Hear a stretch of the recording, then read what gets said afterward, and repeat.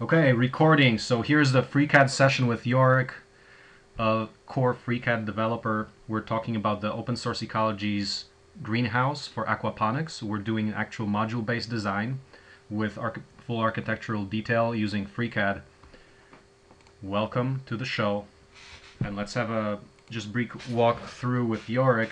So tell me about what's the progress to date and some maybe like a overview some of the features you're using within uh, FreeCAD and tell us what you have here. Uh, basically, uh, at the moment, I started modeling these components for, for the panel. We are modeling a roof panel, just one unit. These panels will be just Mm-hmm. placed one next to the other to, to form the complete roof. Mhm.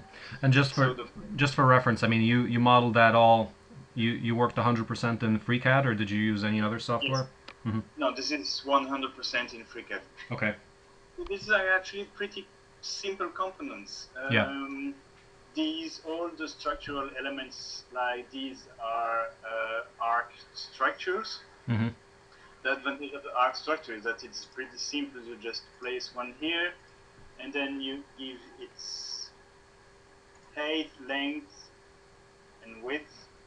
So it's pretty easy to to to, to define a rectangular object.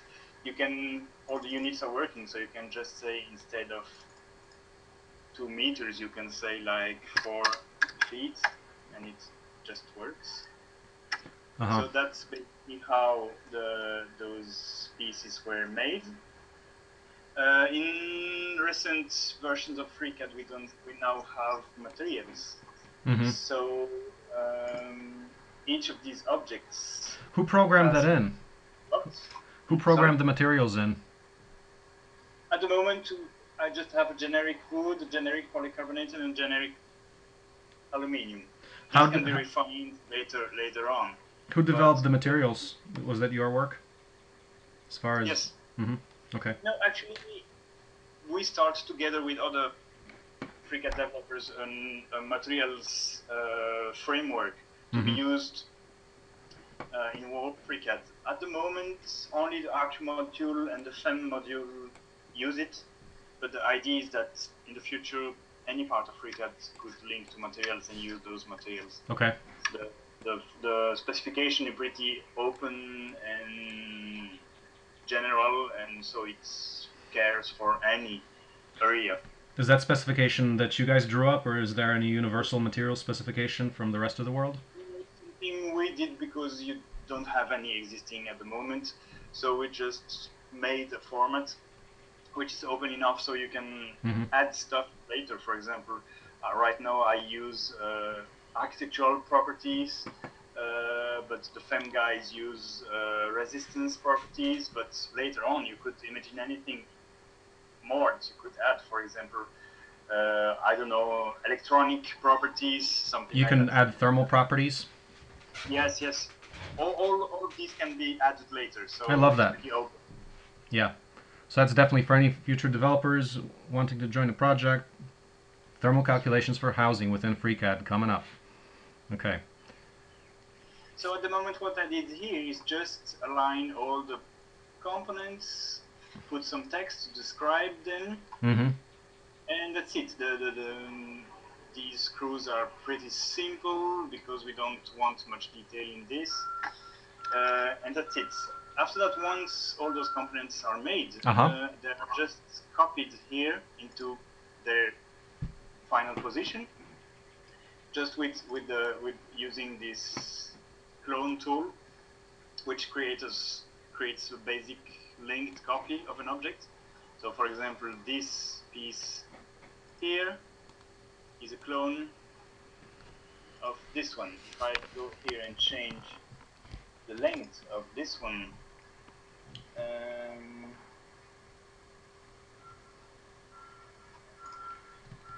Yeah. So- like uh, Yeah. four feet,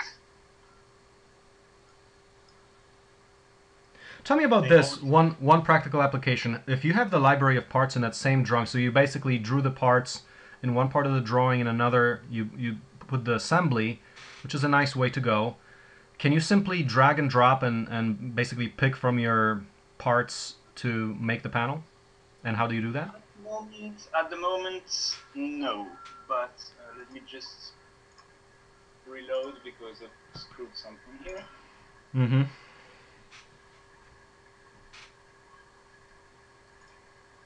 At the moment, no. Uh, what I believe I will do Mm-hmm. uh, once I have this final part here, uh, probably I will just export it as a single file, uh, and that that you can um, import in another file. Uh, at the moment, you can you have to do ma- that manually. Like I could import this whole file in another file, but then all the objects, including the text and such, will come Uh-huh. and we wouldn't want. I, I would want only this part. Right. So probably make an alternative version of this file with only that part here. Right. But when you drew the the layout uh, on the left there of all the different parts, is that after you built the panel or that's before? You actually use those Before. pieces. Before I actually began with this Uh-huh. section and then just copied around. For example, this would be copied here. Mm-hmm. This panel would be copied here, but they are linked copy. I mean, if I change this, you will see immediately. If I change this, uh, where is it? Where is it? Um, to like um,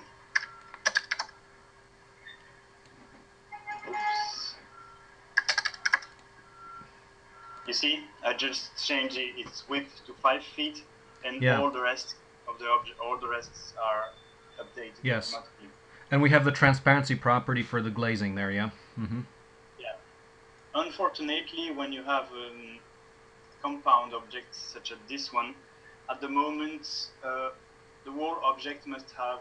You cannot define different transparency for the different pieces of it, but that should be done in the future. At the moment, you can only set transparency for the whole object. So this is this is it. What do you mean whole whole object? You mean the pane of glass? Can you explain that? Yeah.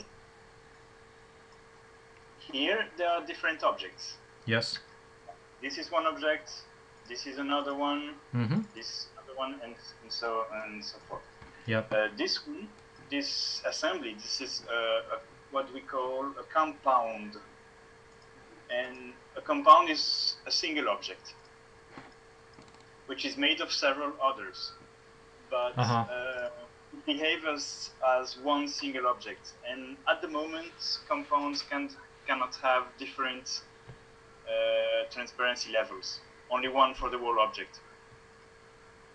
So that's why if I want to see the a bit of transparency here, I had to put transparency on the whole object.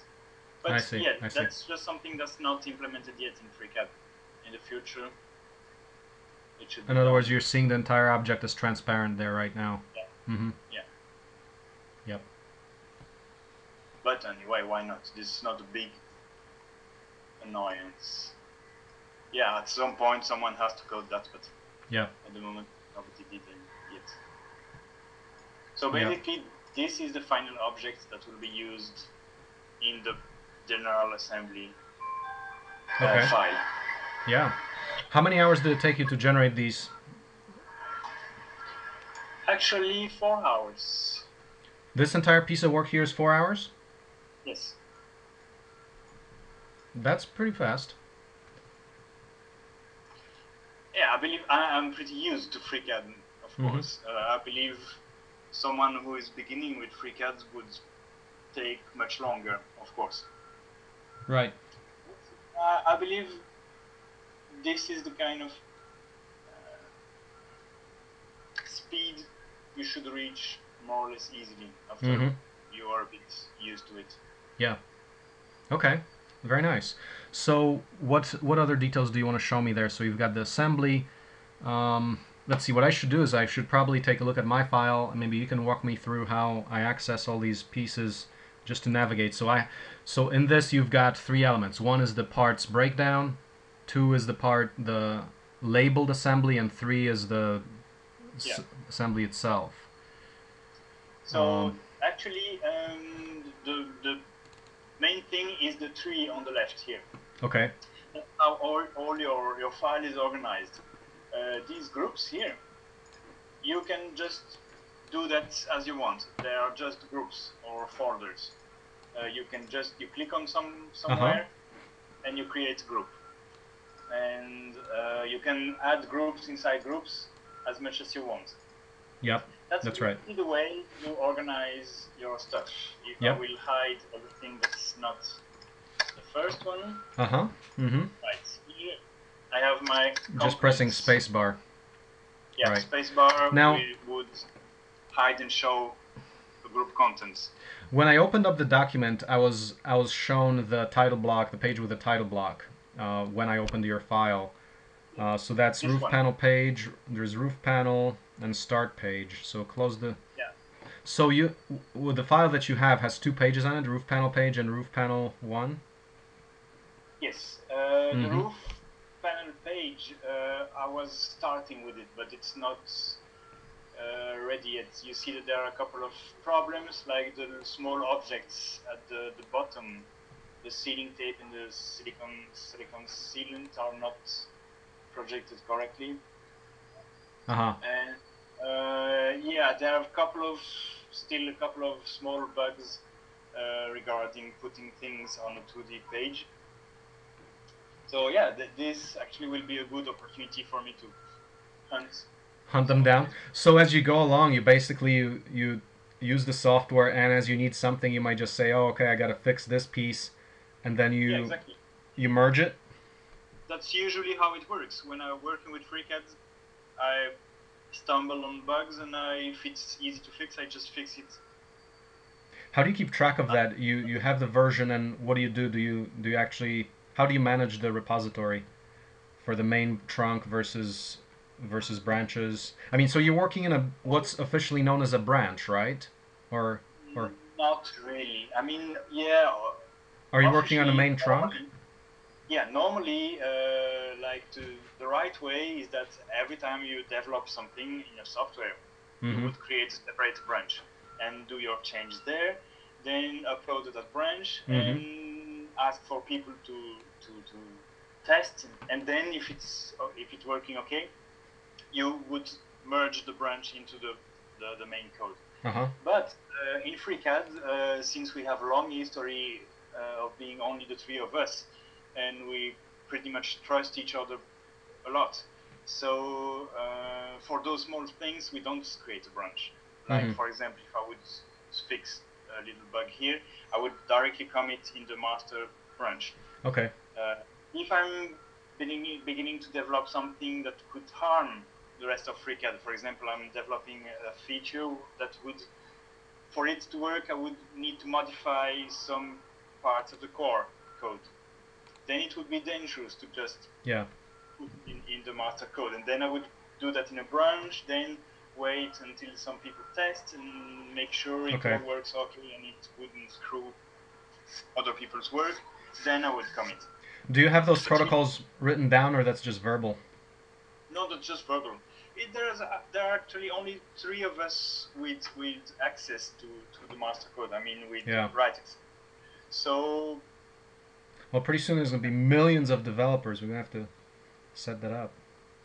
Yeah, but uh, usually you see even big projects like Blender. Uh huh. They have like um, I don't know. I believe less than 50 people with right access. Uh huh. Probably more like 20 people with right access. Yeah. So, and they are all long-time developers, so they, they trust each other very well. And so usually everybody knows what he's doing when Yeah. when when you gain such responsibility. Right. And you know the a lot of the Blender people well too, or are you close to that community? A couple of them, yes. Mm-hmm. But recently I've been more busy with FreeCAD, so I've been lost um, close contact with Blender people. I still use Blender a lot, but um, I don't get much involved in development and so anymore. So Yeah. You're, you you used to be more on the development side there in Blender. Yeah, I mean, I've, I've never done more than just writing scripts, but um, I used to do it to follow it pretty close and and discuss and, and that kind of stuff. But Mm-hmm. Mm-hmm. yeah, this, this takes a lot of time and, and stay tuned and stay close to it. Yeah, yeah, excellent. Um, so, what else do we want to show regarding this? This do you want to so, some? At the moment, that's it. Uh, Mhm. This this medium part here is a kind of experiment. I did, Uh-huh. uh, let's say to try to do something um, didactical.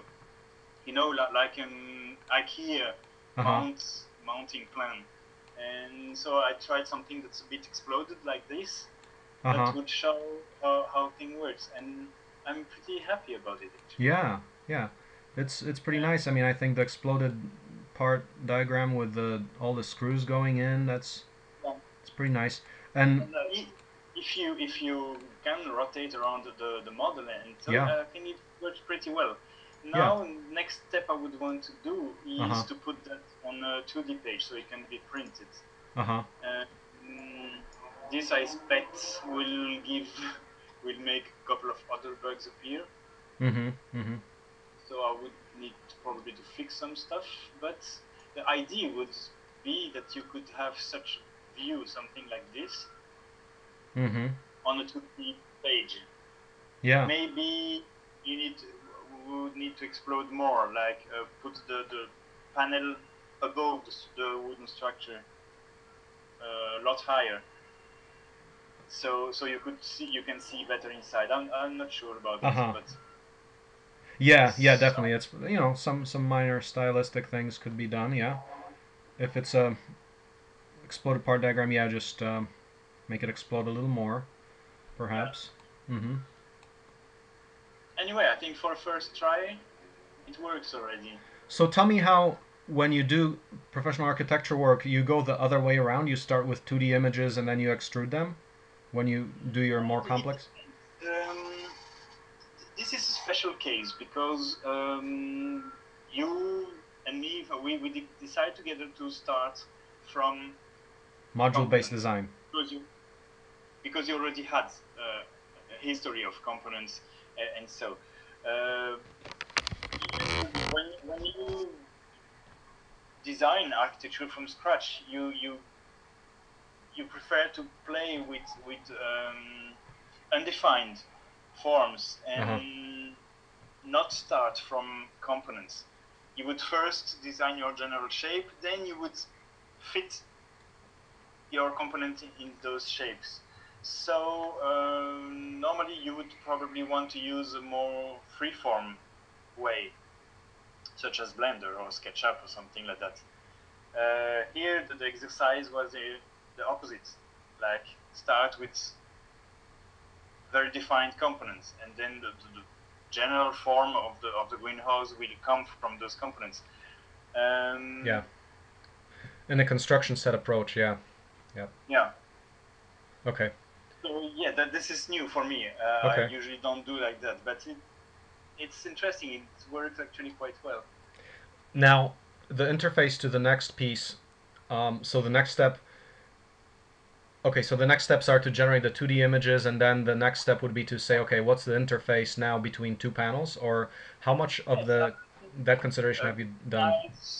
That would be a wall panel, and then see how is the interface between the, the wall panel and the roof panel.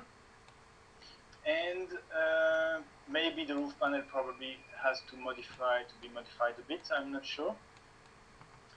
And then Mhm. another point is the, the interface between this side and um, the existing wall. Yeah, we have our list, of, our big list of interfaces. Um, let me pull that up here. So we could already have a big uh, general section of the wall building uh, with the with the existing wall, the roof panel, the side panel, and then we can do the foundation as well and then we would have already like one full module that you can repeat how many times you need. And that would be already, I believe, a big step.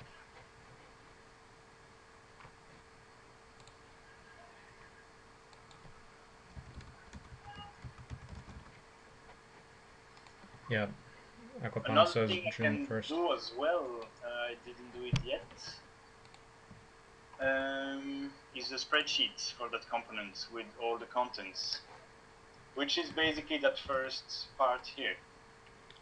Oh yeah. But it could be, it could go to a spreadsheet as well. Uh, do you have a convenient. do you have that built into FreeCAD already? Yes. Uh, which which now- feature? Which is that? There is a spreadsheet module Oh wow. on the top, and then you can just click the first button to create a new spreadsheet. You double click the spreadsheet to edit it, to enter it,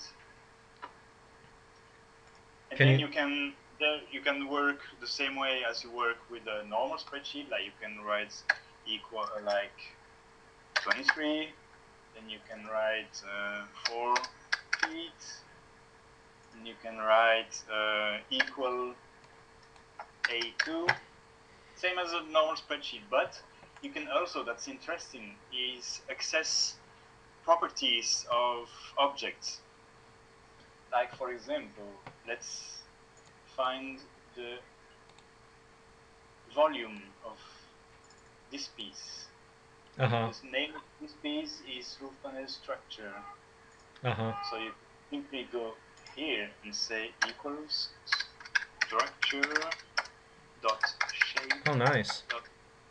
volume of error. Why is that so?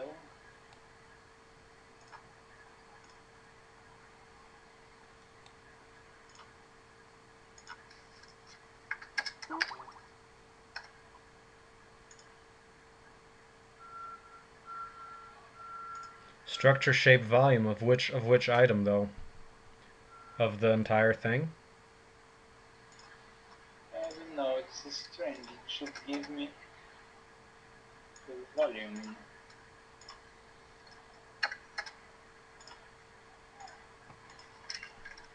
How are you referencing? What are what are you trying to get the volume of the piece of wood or the entire assembly? Yes, just to, to show how it works, but I must be forgetting something. Mm-hmm. I put the documents? Yeah. Maybe. Nope. Yeah. I'm forgetting something, but Right. So you do you pretty much can you auto populate it by saying okay make the first column all the pieces that you used or something like that or you can pretty much Yes. automate. Yes, you could use that for the price as well. Uh, like uh, estimate the price of each each component and have sum.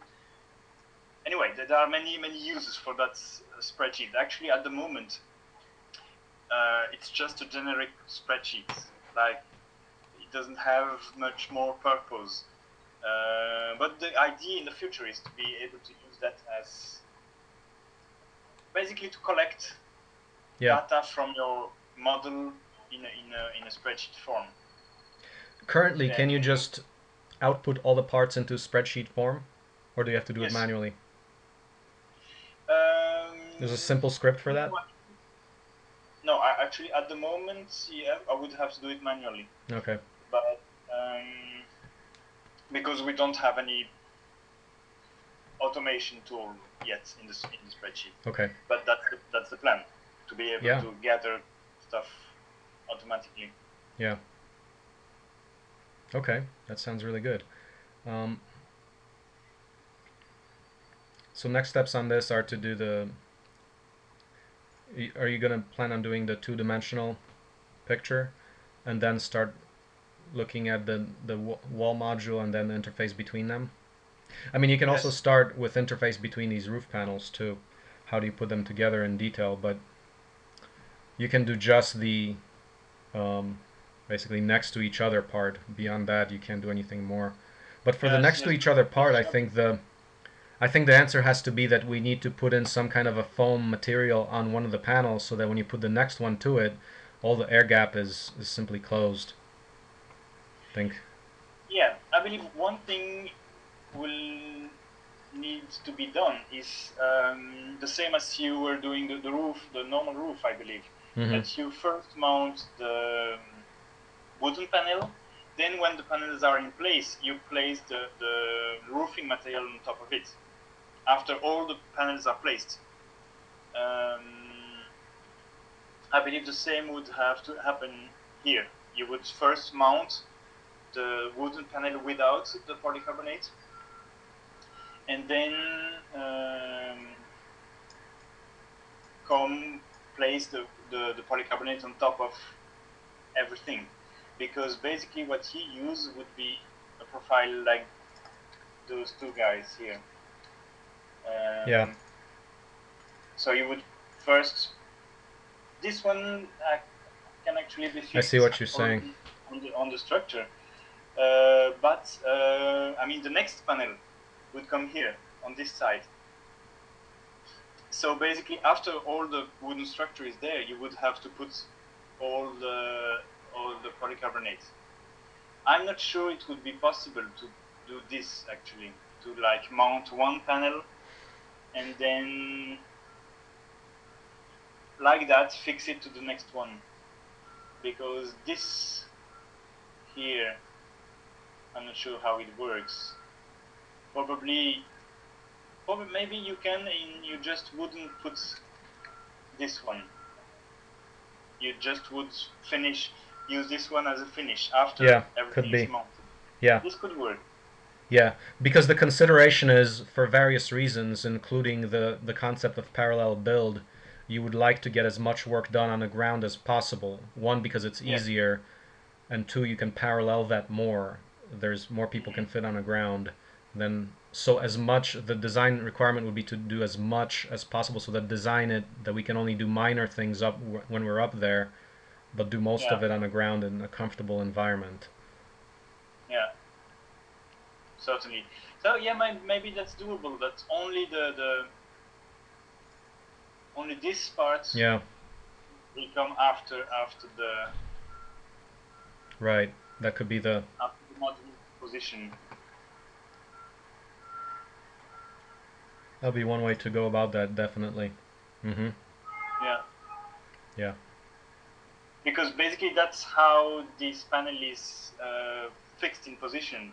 Those two profiles, the the above one and the bottom one, Mhm. like uh, they press the the, the, Yeah. the polycarbonate panel, and that's how it's fixed into place. That's right.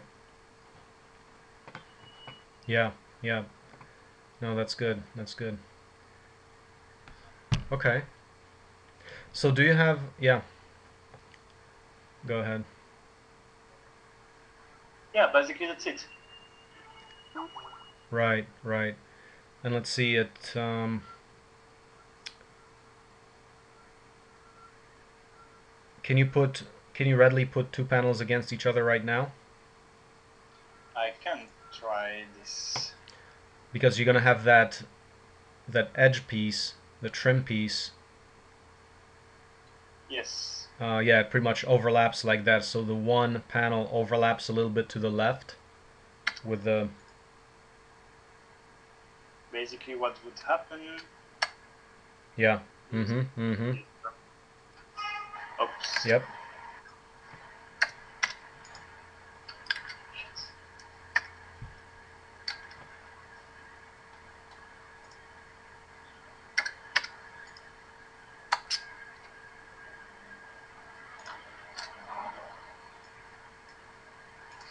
Let me remove that transparency.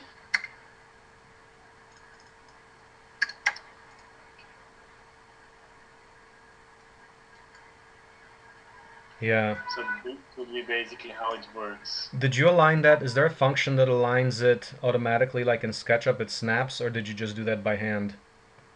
No, I did it by hand, but of course I could snap it. Yeah.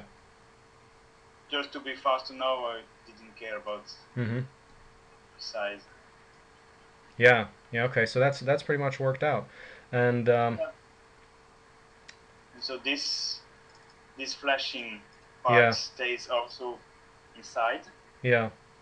This little guy here this little hole. I'm not sure how to solve it, but Right. maybe this can extend a bit. No, actually, Yeah, just extend it a little more, and then caulk it at the end. yeah. Yeah. And a bit of silicone where where both meet, and and that's done actually. Yeah, it sounds good to me. Now, because of the thermal bridge between the the two pieces of wood, do we care about putting insulation between the two adjacent panels between the wood, or not Uh, really? here, here you mean? No, below. Here you will have you will have a screw here. Right, but between the wood. Between the vertical two by sixes. I don't think so. Right, because wood, it's wood itself, wood itself is good. Um, yeah, but the thing is, uh, are we leaving a a point where we actually bind those together? Because if the wood is bent slightly, you're gonna have little gaps. So it's important that you clamp those two together See, and then screw them together or something. Um, but because Like- this is yeah, maybe I don't know how how you guys you used to to do that, but then maybe you would have just let me draw something.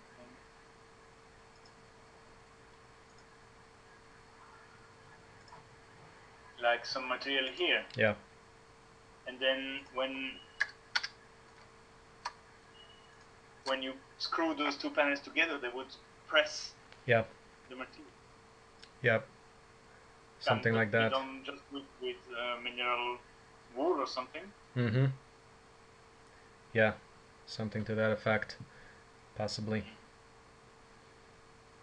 Okay. Yeah,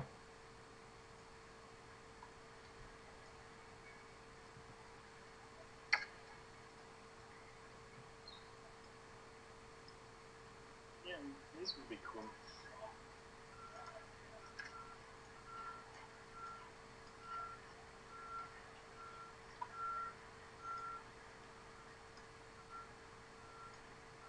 The good thing is that it will all come pretty detailed already. Mm-hmm.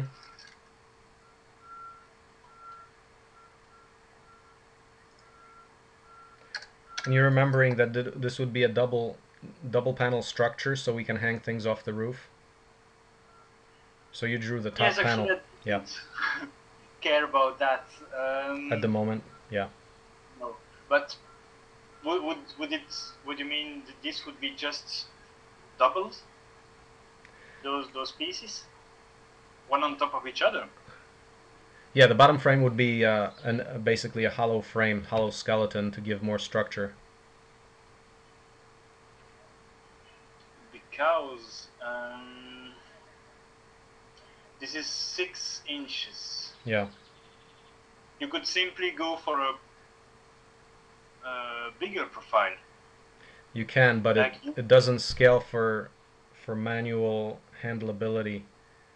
This is heavy enough that two people or it's Ah, for reasons of cost. Let's see. The reasons are one is the weight of the module, and I think there was also a a cost reason too. The the wood does not scale like that in terms of cost.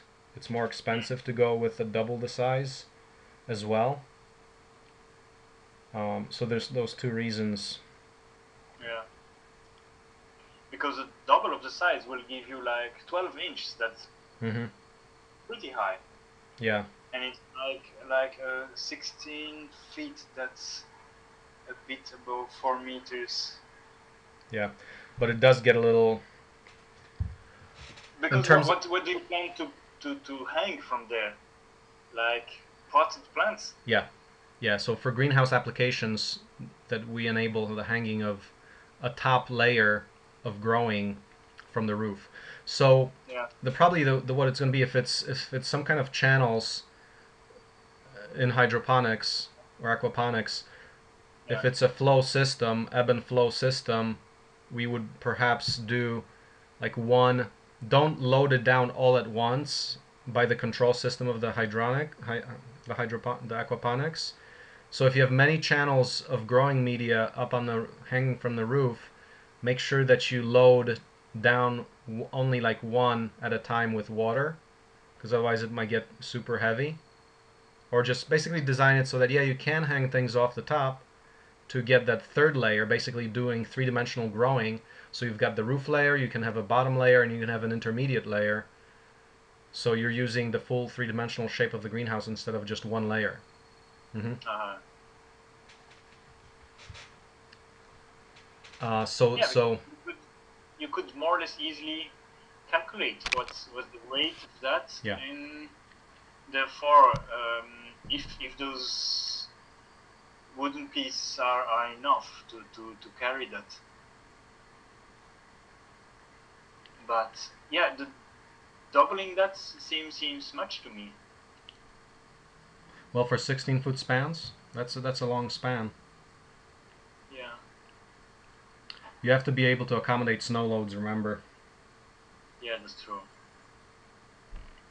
Yeah, we've done some basic numbers on that. We should go through that again.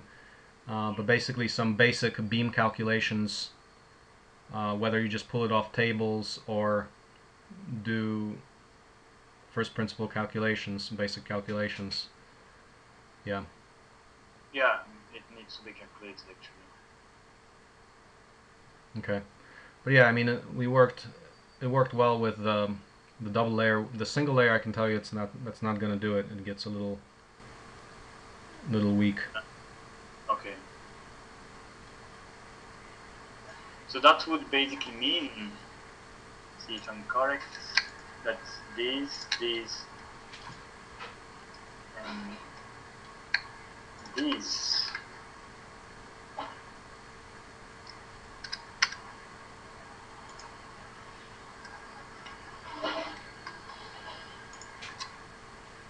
would be duplicated. So it would Yeah. be something like that, correct? Yeah. And you probably want to have the some of the cross members as well. Yeah.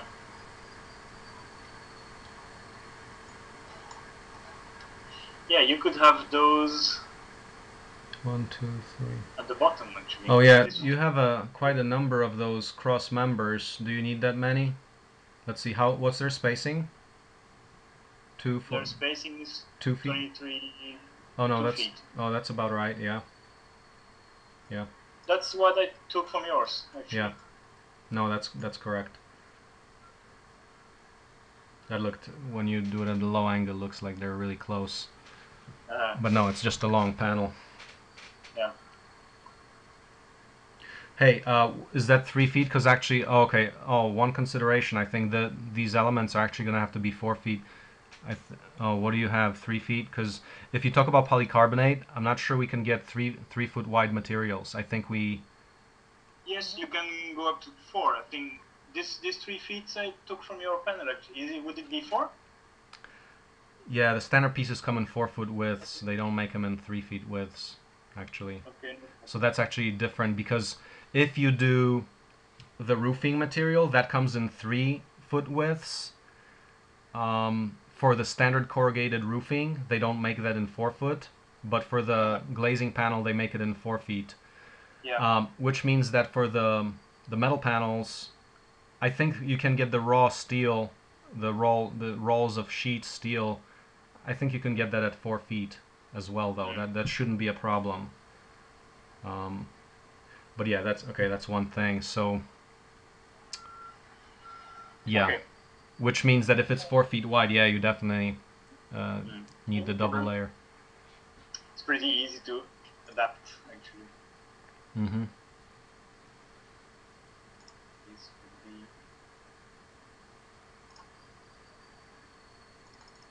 Yeah. four feet. Oops. Crash. Oh, we got a crash. Yeah, As I said, I begin to. I'm beginning to suspect that FreeCAD might have some bugs. Just kidding. Certain. That's a joke for the open source people who believe that software should not have bugs. All software has bugs. It'll be Yeah. what's important is the frequency at which they appear.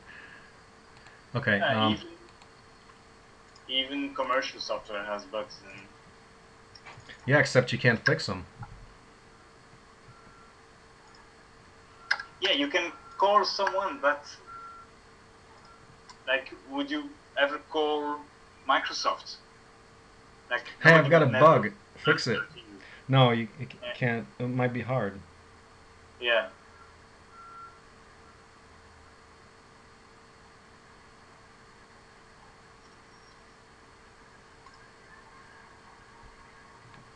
Yeah. Okay. Uh, let's see. So maybe let's talk. Let's talk a little bit. So I think we're that's really good. That's looking quite good and um, relatively speedy. So have you thought about the estimate for the, um, the all the other modules? I mean, it's You No, mean similar amount of- take? yeah. How much? Yeah, I, be- I believe most of the. I still have a bit to, to work on, Mhm. on this one. Um, so uh, I'm not sure how much would be the final. Um, the, the final estimate, but I Mhm. believe one or two hours and more, and, and this one would be done. Mm-hmm. Mm-hmm. Um, Okay. and then yes, I can definitely do one or two next week. I mean this week. Mm-hmm. Your schedule? Uh, Are you doing other projects at this time, or? Yes, I have quite a lot of stuff on the on the table at the moment. Okay. Okay. But it's it's okay to. I think this week and the next one should would be okay to do a little bit, little bit of each. Okay. to do some- So let's see if we can come up with a. If you take a look at it, click on that document that I shared with you there, and let's take a look at what kind of a, what's a realistic plan for for the timing. Because if so, I mean, I feel pretty confident and we can pull some pull a decent workshop off. I mean, maybe let's wait till we talk next week, but I think we should really be considering putting on a, a workshop. So let's see. Let's look at the timing. What what are we Okay. what are we considering for the timing right now?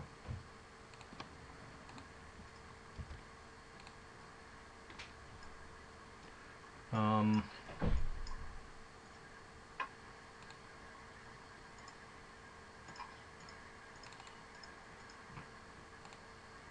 Um, what were our so work plan timelines. Yeah. So the page six has timeline in there. So let's take a look at that. okay? So basically, the working question is, can we do a workshop at end of July? So let's see. Let's look at the calendar more specifically. What's it look like? So July, um, July 25th and 26th, we have the workshop on the Miracle Orchard, and um, yeah. So I mean that that weekend, August 1st. 31st of July, July and, and Mm. through the 2nd, that would work for us. Or it, another date that would work for us would be the 7th or the 8th of, let's see, no, July, yeah, August 7, 8. So 31, 1. Basically, the weekend, the Saturday is the 1st or the 8th. Yeah, Uh, that's so- actually better for me. The latter date? I mean, it's better for me at the beginning of August than at the end of July because Mhm. one week of July I will already be away. Mm-hmm. So um, to to leave me a little bit of my month of August, it's better for me. Uh, uh, my month of July, sorry, it would be best for me in August. But if it's, I mean, end of July would would work for me as well. Uh huh. August 8th would be, around the 8th would be, work better for you? Yeah. Yeah, Yes. that's that's better. So That let's see. It would work better for you, yes?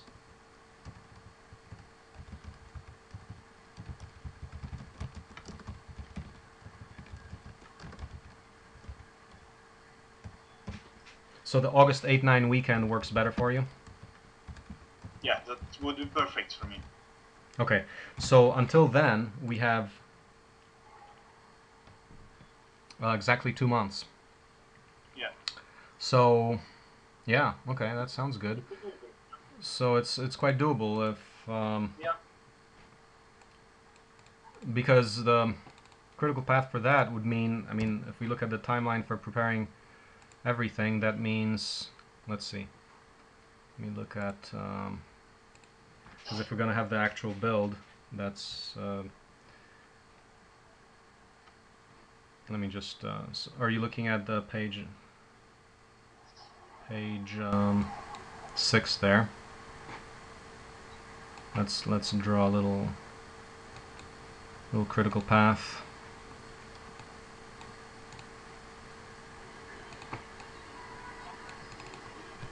so og 8 9 we can so i would propose right now we say um, august 6 7 is the crash courses in cad and 8 and 9 is the build Seems good. so so august 6 7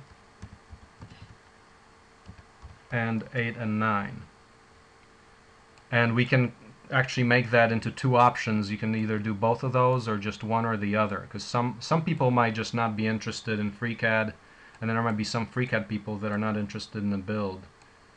Um, so I think to to have option for one or the other, Okay. that would work.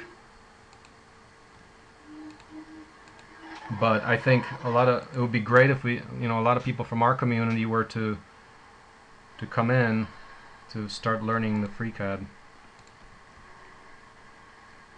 Starting with myself. To start using as a very practical. I mean, we use that already, but we use that only pretty much for visualization. Basically, doing instructionals off existing CAD files by hiding and unhiding things. Um, but we want to start using it for more. Okay, so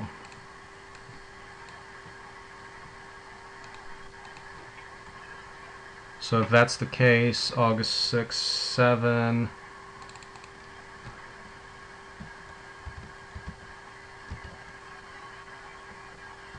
I mean, July 15 is the BOM and, and buying things. So week of July 7.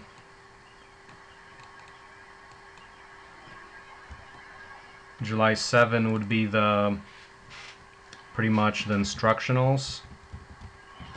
Well, I mean instructionals can continue, but but we have a have a decent idea of the instructionals by about you know a month beforehand, so we can prepare. What is the instruction? Uh, basically, workflow, workflow documents regarding parallel build. So basically, the documents that will allow us to take a crew of people of 24 people or more and make them productive during that entire event by working in parallel. Okay.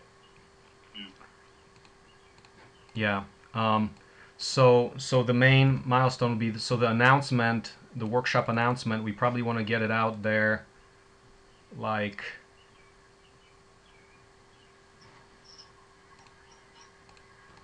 No later than July one. Um, I mean, probably like more like July. No, not. What am I saying? July, August? Yeah, maybe even more than that. July. If it's June 8 now, you think we can get a workshop announcement? I mean, I think this week and next week continue on the design, see where we are and see how it's evolving. But probably like the third week, well, more like the fourth week, like the 22nd, so about two weeks from now. Um, shoot for the announcement, probably like June 22nd. Yeah, maybe that's that's better. Let's let's build some more modules and see how it goes and if the, the rhythm flows and and um, Mm-hmm. Yeah, so if we're gonna go, June twenty second would be when would be a good time to get the announcement out.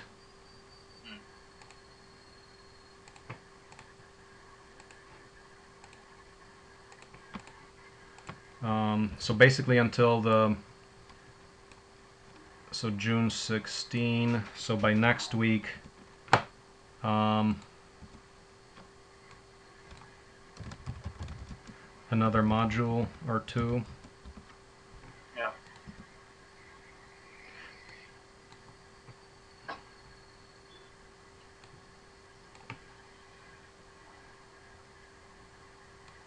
And then the week of June 16, pretty much until the 22nd, we would work that week to, to get the announcement out. So basically, get all the information and the curriculum, um, which we'll have a good idea as we go forward with the well curriculum as far as the uh, one the FreeCAD and Blender part.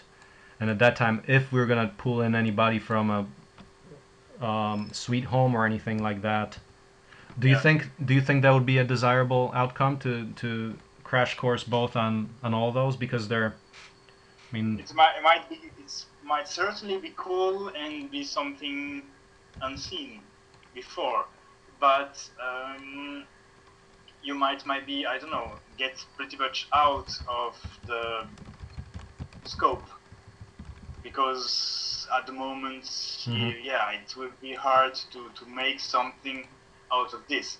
I mean, you can uh, you can work stuff some stuff in in Sweet Home 3D. You can work other stuff in FreeCAD, but at the moment it will be pretty hard to make both uh, communicate.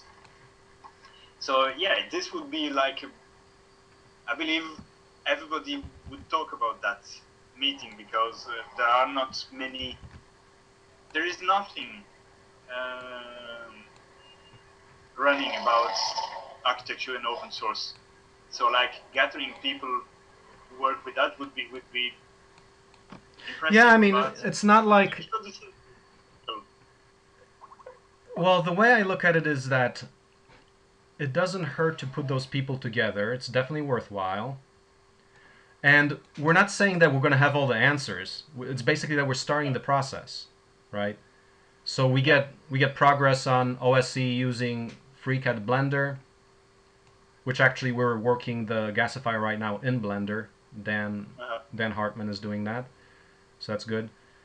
And Yeah. just you know, just keep giving energy to those projects that, that are open source, and continue building that energy. it would, yeah, it would certainly be interesting having talking with those guys and I mean, see what what they do, what they would think of that, and if they would have some interest in, in trying to work some stuff together and that kind of stuff. yeah. Have you seen those uh, those videos on YouTube where people are importing stuff from FreeCAD into Sweet Home? No, Yeah, there's there's some there's some in, some of that going on.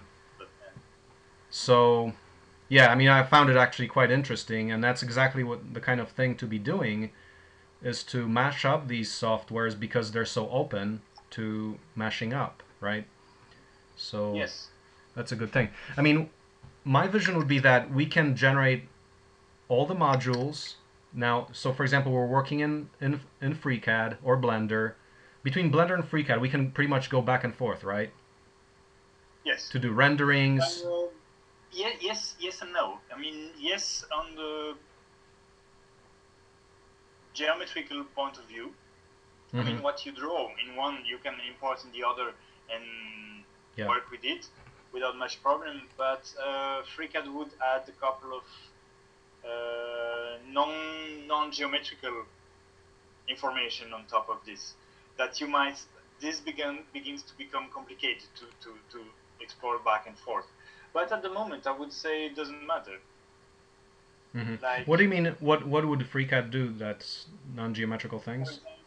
For example um, those dimensions I put on some of the materials Yeah, uh, with all those properties that won't work in Blender, that kind of stuff. yeah, yeah. Right. So right. if you imagine if you begin to rely on those materials to store stuff that you need, uh, you will lose it when you go to Blender, that kind of stuff. Right. Right. But But that's that's a matter of workflows. not- Yeah, Like it's how. just a matter of adapting it.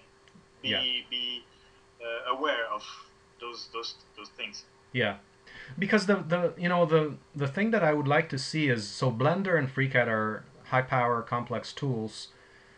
Sweet Home is actually a popular platform. So what if we could design all the parts in FreeCAD Blender and then we have the readily exportable modules that you can use in Sweet Home to Yes, design your houses very readily.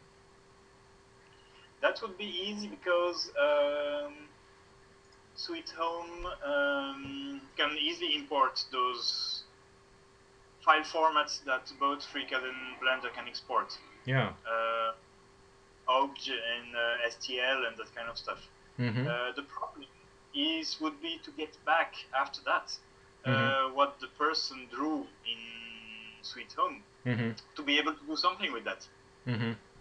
I mean, to re-import it back in, in FreeCAD. And hmm I had the first look at it, and it's it, there is no easy easy way to do that. Okay. So how does that? Uh, What are the opportunities and limitations there? So so the opportunity is that that that individuals have no no skill and or no architecture skill. They can take Yeah. already prepared architectural modules and make a meaningful house, something that can actually be built. uh-huh. right? That's extremely powerful. Now, if we can't Yeah. go back into into FreeCAD, that's you know that's that's okay. We can take floor plans out of out of Sweet Home, right? Just basically conceptual. I mean, pretty much you have to go from the the Sweet Home to a someone who understands the modules will have to take them and say, okay, this is the build procedure now, right?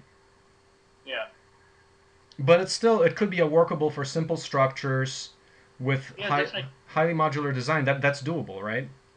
Yeah, it's doable and um, I don't know. I mean, the, the file format of Sweet Home is pretty simple. Maybe, maybe if, if, if you discuss with those guys, they Yeah. would tell you, man, here's an easy solution. We can export like a list of the components and their positions, and then Sure. with that list, uh, you could redo the wall, rebuild the, the thing in, in FreeCAD easily. Sure, sure, absolutely. There might be like very easy solutions and shortcuts. Yeah, so that's why we we want to talk to those guys. Do you know those guys? No. Yeah, well, we should make friends with them. It looks like a great project. Looks Yeah. like it's just all good. Where is their homepage?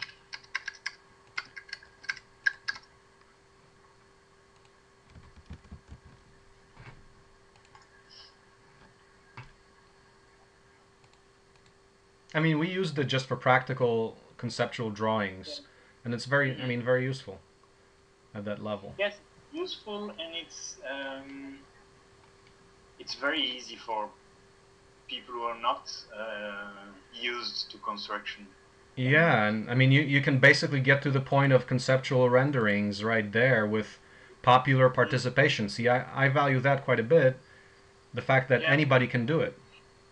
Yeah, and actually, if it's your house that you're building, you should play with that. You should play with space and say no, Exactly. like a little bit more space in my my uh, sitting room and, and that kind of stuff, and wait yourself because it's a little, it's a play. Like hmm push that wall, that that wall a little bit to there, and then ah, this doesn't work, and this all kind of um, adjustment is something you yourself should do, and not give that to an architect to do. The architect should make something upper level out of that, but that kind of, you know, fine tuning of exactly how much space you want for each space, basically how you want to organize your life could be something that you can do yourself. Sure, Should be. it should be, and it can be. Yeah. Yeah. No question about that. Yeah. I mean, I think. I mean, I, I personally think that the home applications, the software around it, the modular building techniques that we're doing, I think that's those are all killer apps. I mean, everyone needs a home, so. Yeah. No question about it. Um, Yeah. yeah. So let's let's do that. So, let's see. So if we talk about um, the the potential schedule.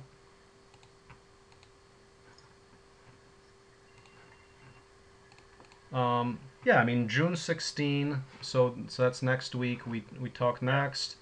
Um, depending on how things go by next week, we talk about putting out an announcement and and if things are on plan next week that we think we can do it.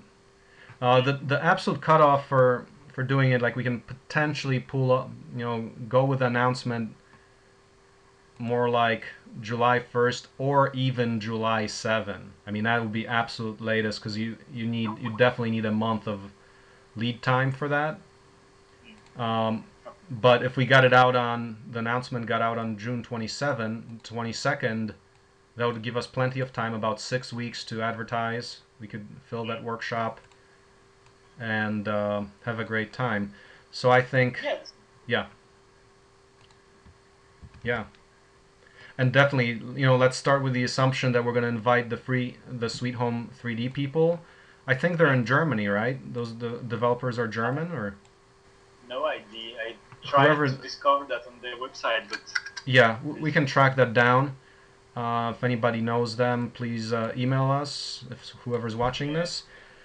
who is but they're gonna have users. I mean, that's a. I, it looks like there's a live community there, so even a user who's very familiar with the software could be a very good help to the to have at that workshop. So we can at least invite uh, users who can help us basically Yeah. use it in our tool chain. Mm-hmm. Yeah. No, that's that's really exciting. So see. Uh, this guy is is the main developer. I'm looking the, at the forum. Who is most online? This guy. France. mm-hmm. One is yeah, one is French. That other one has two thousand posts.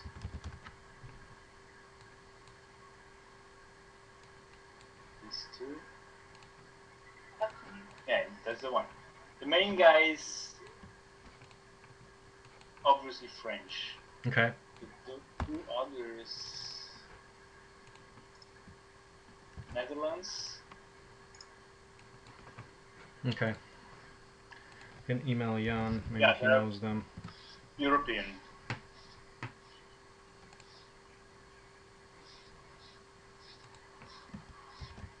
Uh, I couldn't find.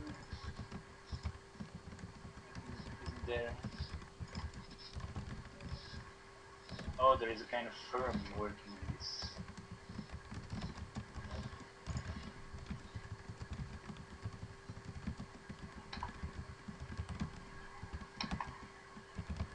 eTeks.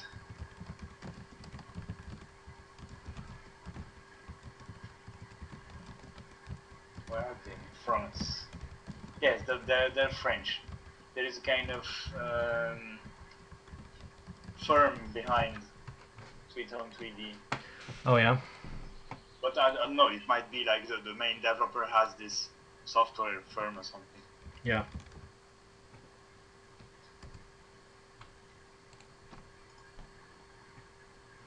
Yeah, it's a one guy firm. That's the Mhm. one. This is the guy. Send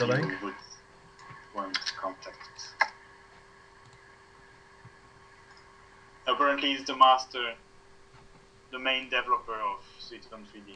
Okay, excellent. Uh, let's email him. Um, I'll email him like right now.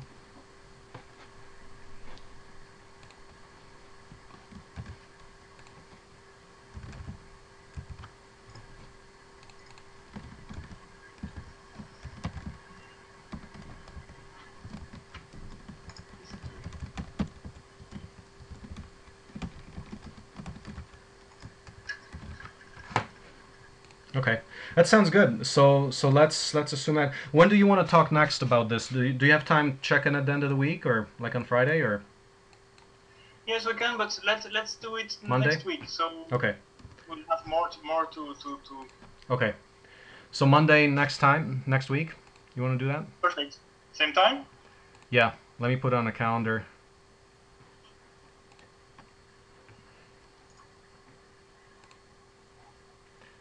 Uh, Monday the fifteenth. Uh, 2 p.m. Okay. Excellent. Excellent. Looks good. Looks like we're gonna do it. It's gonna be a good. Yeah. Good deal. Great. Okay. Thank you so much, Okay. and we'll be in touch. If you get it, do you, hey, uh, would you mind posting? Um, you know, we've got a bunch of different workshops planned already. Did you have you seen those? Your your other work? You Yeah. What do you mean? You other uh, workshops? Yeah. Uh, we have a bunch of very exciting workshops. Check this out. Look at all these that are coming up, including open source GIS, um, open source orchard, a forestry, machines, gasifiers. Um, so if you wouldn't mind, post it on your social media. Okay. Okay.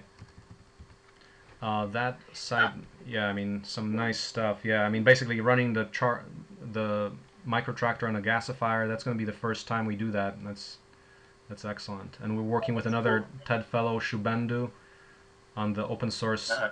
a forest workshop. Basically, we're interested in, in spawning open source uh, afforestation enterprises, and also with Uh-huh. a Miracle Work Orchard that's about open source orchards that are polycultural, open source nursery kind of topics. So yeah, really pushing the open source economics towards Uh-huh. the concept of Jeffersonian democracy, uh, as someone coined in a, in America a long time ago.